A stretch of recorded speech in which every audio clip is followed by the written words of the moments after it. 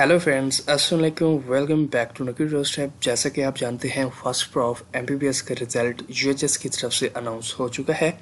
और आज की इस वीडियो में हम डिस्कस करेंगे कि जिन स्टूडेंट्स की सप्लीज़ हैं, अब उनको क्या करना चाहिए अप्लाई करने की लास्ट डेट कब है, और इसके अलावा डबल फ़ी के साथ अप्लाई करने की लास्ट डेट कब है, और री चेकिंग की लास्ट डेट कब है, जो स्टूडेंट्स री चेकिंग करवाना चाहते हैं तो वो कब तक अप्लाई कर सकते हैं? जिन स्टूडेंट्स के मार्क्स उनको लगते हैं कम हैं तो वो री चेकिंग लाजमी करवाएँ। ठीक है? क्योंकि री चेकिंग से आप लोगों के नंबर इंक्रीज़ हो सकते हैं। ठीक है? वैसे री चेकिंग और री काउंटिंग में फ़र्क होता है। स्टूडेंट्स समझते हैं कि उधर जाके री री चेकिंग होगी कि आप लोग उधर जाएँगे, अपना पेपर देखेंगे, आप लोगों को आपका पेपर दिखाएँगे। ठीक है? और ये नहीं कि आप देखेंगे और आप कहेंगे कि भाई इधर तो मेरे चार नंबर बनते थे और इसने दो क्यों दिए मुझे? फ़िलहाल टीचर को दें चेक करें। ऐसी बात नहीं होती। ओनली जस्ट री री काउंटिंग होती है। ठीक है? अगर आपके दो प्लस दो प्लस दो सिक्स नहीं हो रहे फाइव हो रहे हैं तो आप कह सकते हैं, भाई two plus two plus two six बनते हैं। तो टीचर ने मुझे फाइव दिए हुए हैं। जो रिज़ल्ट शो हो रहा है, उसमें फाइव बनते हैं तो आपको वो सिक्स दे देंगे। ठीक है? तो री चेकिंग का मतलब ये होता है। अब हम देखते हैं कि री चेकिंग की लास्ट डेट कब है और जो सप्ली के एग्ज़ाम्स हैं, वो कब होंगे और उनकी लास्ट डेट कब है अप्लाई करने की। और इसके अलावा जैसा कि आप देख रहे हैं UHS की पोजिशन फ़र्स्ट पोजिशन है लाहौर मेडिकल कॉलेज की एंड सेकेंड पोजिशन है। जैसे कि ये आप देख रहे हैं, शालामार मेडिकल कॉलेज की है और third position Rashid Latif medical college Lahore की है।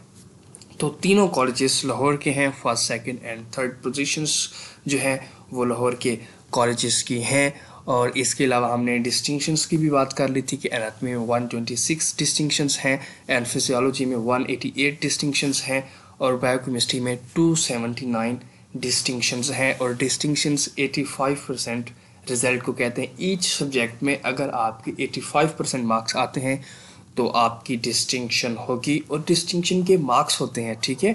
ये एक डिस्टिंक्ट चीज़ है डिस्टिंक्ट है। बाकियों से आपको ये एक अलग एक मुनफरद चीज़ मुहैया की जाती है कि आप डिस्टिंक्शन होल्डर हैं और जब आप एफ़ सी पी एस करते हैं तो आपको इसका फ़ायदा होता है।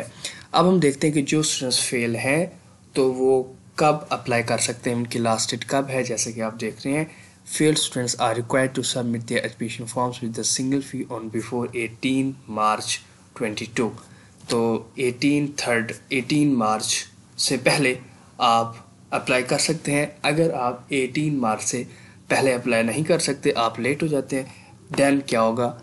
विद डबल फ़ी होगी ऑन बिफोर 25 मार्च तो ट्वेंटी मार्च से पहले फिर आप अप्लाई करेंगे तो आपकी डबल फ़ी होगी। अगर आप 18 मार्च तक अप्लाई करते हैं तो सिंगल फ़ी है। 18 से 25 के बिटवीन आपकी डबल फ़ी होगी और 25 के बाद आप अप्लाई नहीं कर सकते। तो दोस्तों, अभी से अप्लाई कर लें, क्योंकि बाज़ात बंदे भूल भी जाते हैं और सर्वर इशू भी आ जाता है और बाज़ात आप लोगों को पता नहीं होता सैटरडे बैंक ऑफ़ होते हैं और संडे भी ऑफ़ होते हैं। तो कुछ भी हो सकता है, इसलिए आप रिस्क मत लिया करें। लास्ट पे किसी भी चीज़ को मत डिले किया करें। आप लोग अप्लाई अभी से कर दें और 25 को अगर आप करते हैं तो ये डबल फ़ी के साथ होगी।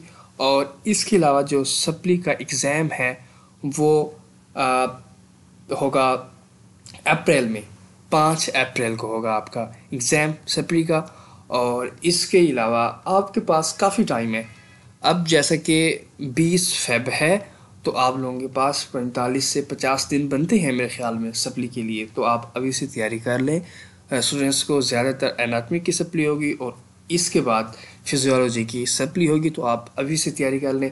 जो आप पहले तैयारी करते रहे हैं जो चीज़ें आपने पहले पढ़ी हैं, अब दोबारा उसी तरह उनको नहीं पढ़ना। अब न्यू चीज़ें भी आप लोगों ने साथ पढ़नी है। क्योंकि अब वैसे की वैसे आप तैयारी करेंगे तो आपका जो स्टैंडर्ड है वही रहेगा। तो इसलिए अगर आप लोगों ने के नहीं पढ़ी तो आप के के ब्लू बॉक्सेस पढ़ सकते हैं और आप बी टी को पढ़ें। अगर बी टी के आपने क्लिनिकल्स नहीं किए थे तो आप वो भी करें।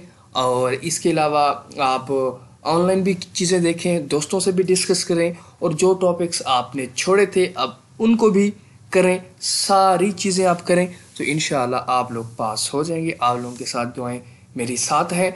और इसके अलावा अब हम बात करें रीचेकिंग की, कि रीचेकिंग की एप्लीकेशन कब है, कब रिसीव की जाएगी।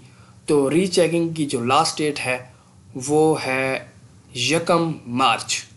ठीक है, आज 20 फेब है तो आप लोगों के पास 10 से 11 दिन है यकम मार्च तक। आप लोग अप्लाई करें रीचेकिंग के लिए।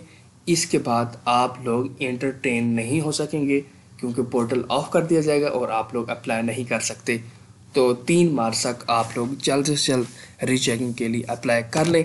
तो दोस्तों, ये हमारी आज की वीडियो थी। नेक्स्ट वीडियो में हम डिस्कस करेंगे कि जिनका आर एल आ रहा है, आप लोग भी वीडियो देख लीजिएगा कि आर एल से क्या मुराद है और ये क्यों आता है और इसको कैसे सॉल्व किया जाता है। रिज़ल्ट लेटर कुछ के रिज़ल्ट नहीं आते, जैसा कि आप लोगों के आ चुके हैं। तो डिफरेंट कॉलेजेस में दो बच्चे, तीन बच्चे हो सकते हैं जिनके रिजल्ट्स रेटल आर एल मतलब लेटर होंगे। जैसा कि इसमें सेवन स्टूडेंट्स हैं। शेख खलीफा बिन जैद में सेवन स्टूडेंट्स आर एल हैं और इसमें वन है इस कॉलेज में वन है। इसके अलावा जो साहिवाल है, इसमें वन है तो ऊपर वाले में टू तो इस तरह डिफरेंट कॉलेजेस में आप जैसे कि देखें सिक्सटी स्टूडेंट्स हैं जिनके आर एल आ रहे हैं। तो ये क्यों आते हैं? ये हम नेक्स्ट वीडियो में डिस्कस करेंगे। और दोस्तों, अगर आप चैनल पर नहीं हो तो इसको सब्सक्राइब कर सकते हैं आप लोग, क्योंकि आपको अगर लगता है कि ये चैनल इन्फॉर्मेटिव है अथेंटिक है तो आप इसको सब्सक्राइब कर सकते हैं। Thanks for watching